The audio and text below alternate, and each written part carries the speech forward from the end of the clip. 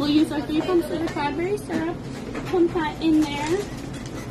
Then your ice is up to the black line already. Have that cranberry syrup in there. Next up is that sweet tea you pour to the black line here. And then filling it up with our lemonade, and putting the flat lid on it and mixing it up, making sure it's nice and presentable and all mixed up for the guests. Also, I will have to mention that just like our we'll be offering it in diet, regular, unsweet, and sweetened. So just make sure to ask the guests their preferences. Thanks, guys.